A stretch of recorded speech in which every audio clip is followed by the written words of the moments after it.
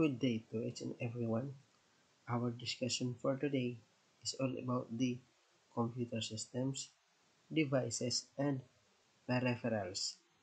Let us start. First, what is an operating system? The operating system is the most important program that runs on the computers. Okay? The OS or the operating system is a part of a category in a software compared to the so to the computer hardware. So OS is a category of system software. Also, operating systems perform basic tasks such as recognizing input from the keyboard, sending output to the display screen, keeping track of files and directories on the disk, and controlling peripherals devices such as disk drives and printers. So that these examples or these um, images are the examples what our operating system can be done. Okay. OS or the operating system can be classified as follow. Number one, multi-user. Allow so it, it allows two or more users to run programs at the same time. What are the examples of the OS? The examples are the Linux, Unix, Windows 2000, and the latest nowadays, the Windows 11. The next one, multiprocessing. The OS support supports running a program on more than one CPU. The example again, the Linux, Unix, and Windows OS. Multitasking allows more than one program to run concurrently. So those, those are the categories of the classified by the OS. And the other one, multi-threading, allows different parts of a single program to run concurrently.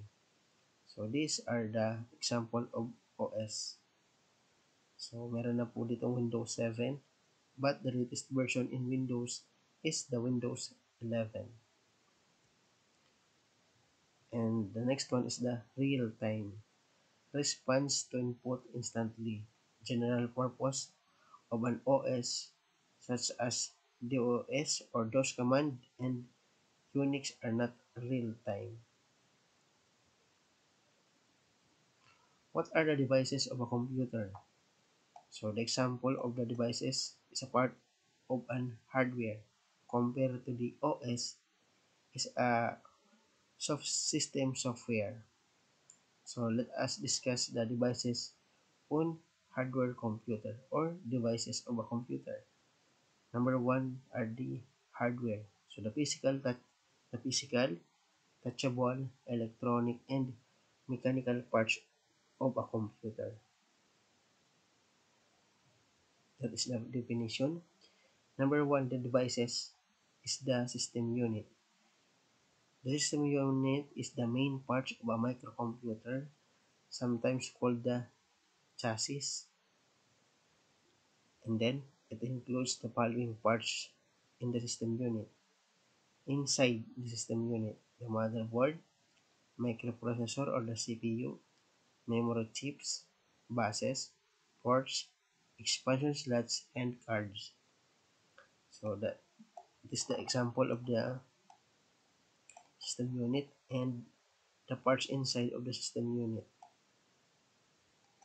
Okay, as you can see, the power supply, ports, different cards, and the CPU and RAM.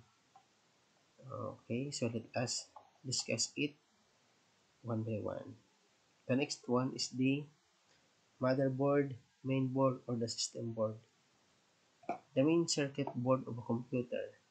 Once the uh, motherboard, main board, or system board, is called the main circuit board. It contains all the circuit and components that run the computer. So all the connectors are put together or attached to the motherboard. So there are many parts of the motherboard. As you can see is the example. So basically the example are the north, north bridge south bridge agp agp slot or port the pci or the network CMOS battery cpu socket heatsink and so on. So there are also many connectors from them okay. Those are the examples that you can see in the motherboard. Okay so let us continue. Number three the cpu or the central processing unit. The processor is the main brain or heart of a computer system. It performs all of the instruction and calculations that are needed and manage and manage the flow of information through a computer. So th these are the examples of the uh, CPU, the Intel, the common CPU nowadays are the Intel and AMD. Okay, so those are the examples in CPU, AMD and Intel. Number 4. The primary storage. Once we said the primary storage are the internal internal storage, main memory or the memory itself is the computer's working storage space that holds data instruction data instructions for processing and process data so it's called primary storage two types of memory. So let us discuss it individually. Okay so the first one is the ROM ROM or the read only memory. So the ROM is non-volatile meaning it holds data even when the power on uh, the power is on or off.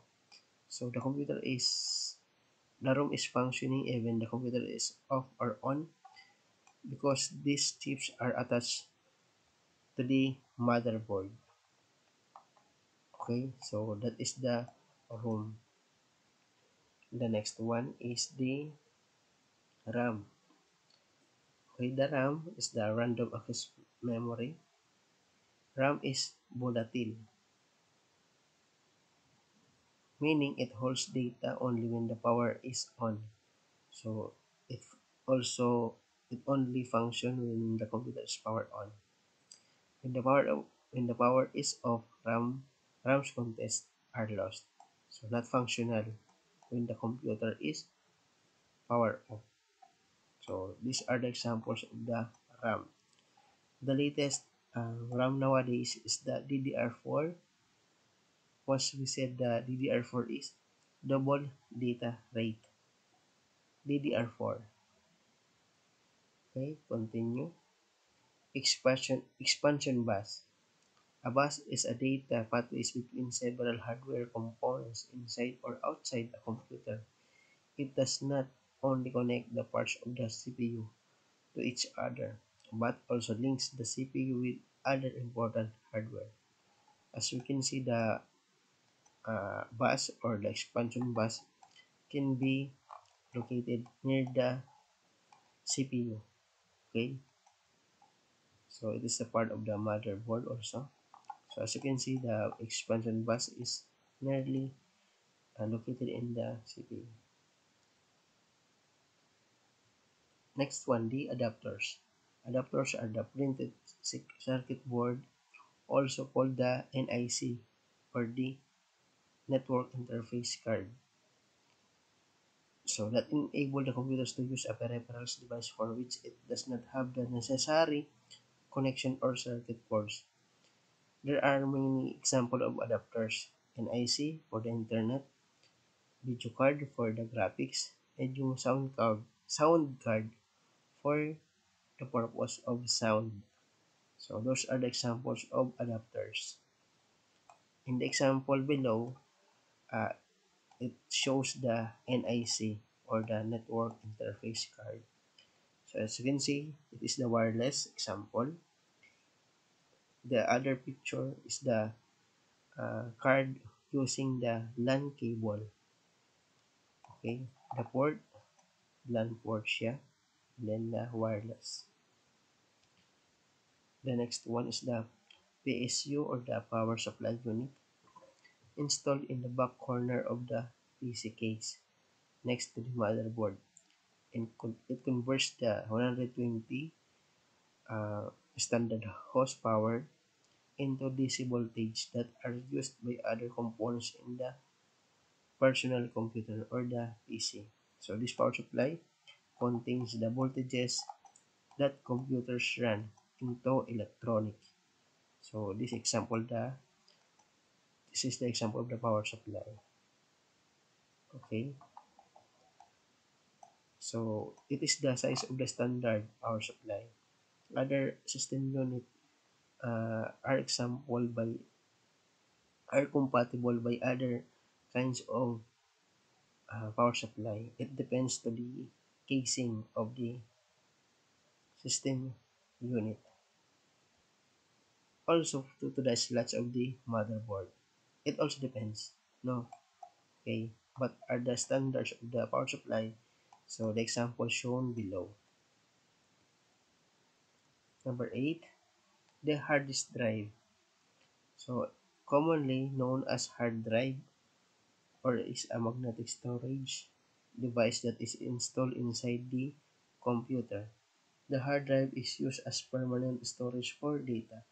So that, this is the example that you will uh, store data or any resource, resources on your computer, such as the program, the operating system, application, and then any resources such as the save file, the sound, or the music, video, or the working activities.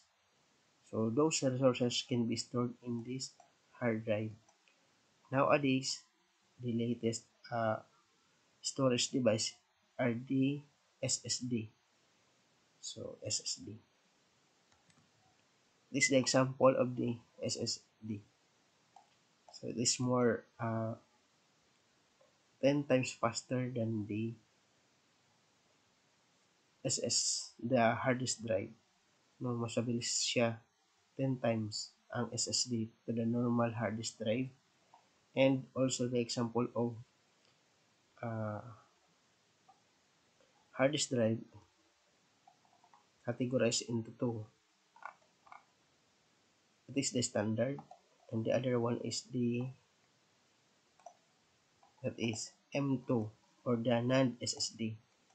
So this kind of SSD are nowadays uh, the storage device that can be used. The hard disk drive or the SSD is phased out already in the market. So the two storage device can be used by M2 or the standard SSD. Okay, so let us continue.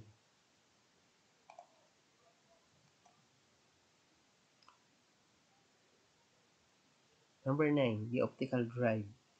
An optical drive is a storage device that use or uses lasers to read data on the optical media.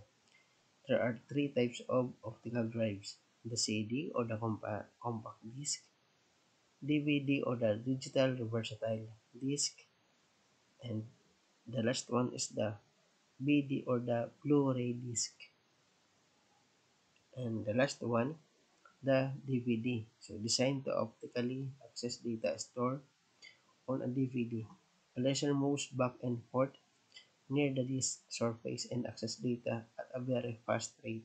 So you can also uh, store your data sources in DVD. Okay, so those are the examples of computer systems, devices, and peripherals. Thank you so much and God bless. Bye-bye.